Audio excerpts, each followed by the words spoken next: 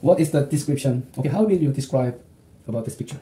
Um, I'm studying ballet at the dance department. Ooh. Practice is every day because the performance is coming soon. Oh yeah? It starts at 6 p.m. and ends at 10 p.m. Yeah. After practice, Mhm. I'm always really hungry, Huh? especially for spicy food. Mm-hmm. Mm, I used to diet a lot for performance, but not anymore Why? because I'm 천천히, 천천히. I'm a senior now, Uh-huh. and I don't want to be too skinny. Oh yeah? So on Friday, Mm-hmm. I felt stressed, so I bought the spicy cup noodles at the mart. Yeah. Mm, Mm-hmm. The spicy taste makes my tongue tingle Mhm. and my throat, my stomach hurt a bit.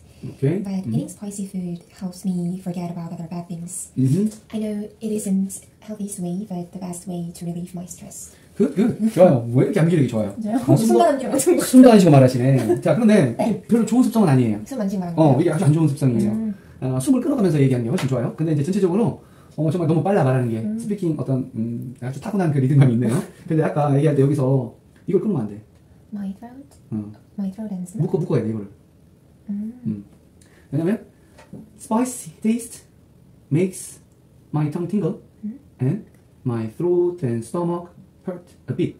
아 이게 두 개가 묶음. 아, 묶음이에요. 무슨 말이냐면 매운 맛은 네. 자 만드는데 뭘 만드냐 요거하고 또 걸리는 거예요 지금 병렬이니까 음. 음, 요거 이 메이크가 여기 그 다음에 여기 오는 거예요 이렇게 그럼 이 투- 헐트가 지금 동사예요 네. 내 목과 위가 hurt 아프도록 아프. 어, 약간 아프도록 음. 만든다 이거예요 오형식의 개념이에요 네.